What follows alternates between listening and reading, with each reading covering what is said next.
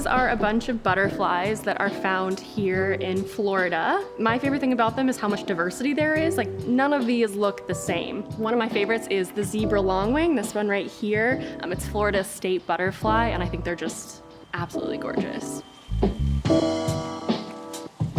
I'm Morgan Belle and I was born with a passion for animals. I'm a conservation and science technician on the Disney conservation team at Walt Disney World Resort.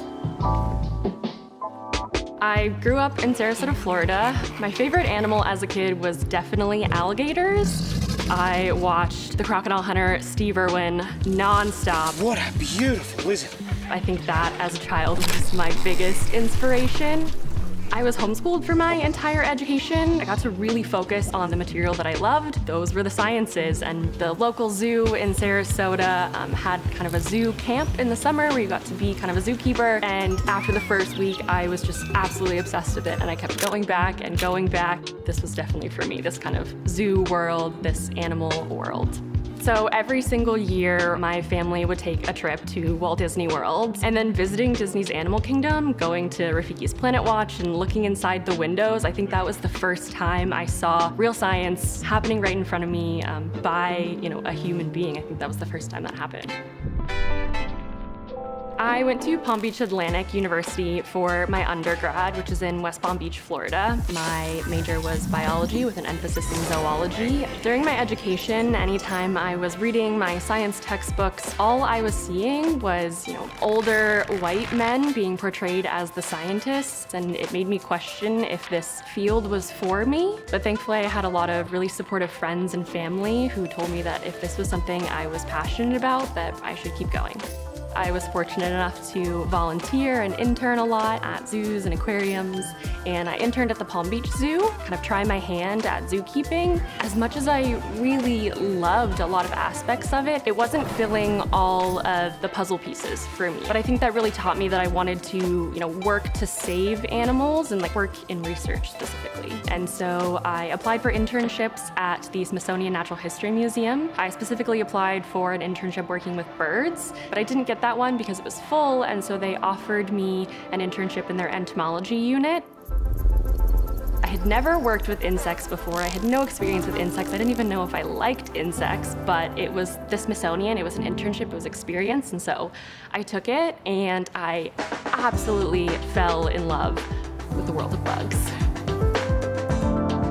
I was doing very niche work of processing and pinning almost microscopic parasitic wasps underneath the microscope and I would look up from the microscope and it would be dark outside and my vision would be blurry from, you know, staring under this microscope all day long and completely was unaware of how much time was passing and I think, you know, I really loved the work. I decided to go back to grad school. I think at this point I realized entomology was probably the lane that I wanted to go down. And so I went to San Francisco State University where I studied conservation biology and I specifically was working with pollinators. Most people think of bees as you know the ones doing the hard work, but there's also butterflies and other types of insects or other types of pollinating animals that transfer pollen completely accidentally from one flower to another. And that's how we get all of the you know, wonderful fruits and veggies and, and foods that we rely on. So I think at this point, I kind of realized that everything had come together for me. I wanted to do conservation research of, you know, pollinators, of insects, and then I wanted to tell people about it. I wanted to share what I was learning, and I started taking classes on effective and equitable science education and learning really how to teach science well. I want to make sure that no one had to look as hard as I did to, you know, find themselves in STEM. And that was the last piece of the puzzle for you know, learning what I wanted to do. I was nearing the end of my time in my master's program, but I had applied for a conservation education presenter internship here at Disney, but then the pandemic happened.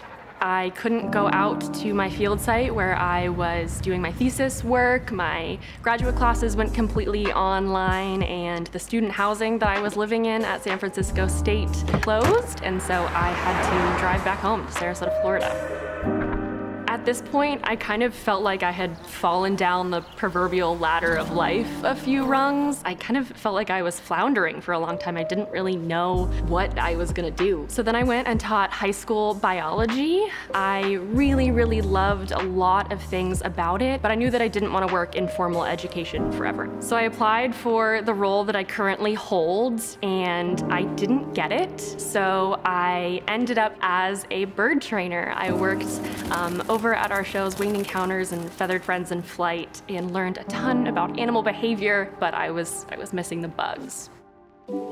Almost a year ago, my current leader called me up one day and offered me my current job. I think he offered it three times before I realized what was happening. He said, you know, we'd love for you to join the team. And I said, yeah, me too one day. And it wasn't until the third time that I realized, oh my gosh, I'm being offered a job. And he was like, maybe you take some time to think about that one. And I was like, no, no, no, I know, I know I want it. So now in my current role, I think I've got all the puzzle pieces. I get to do conservation research and help save wild animals. I get to work with insects, specifically pollinating insects that I love so much. And then I get to share what I learned and inspire people to join this field or care about something.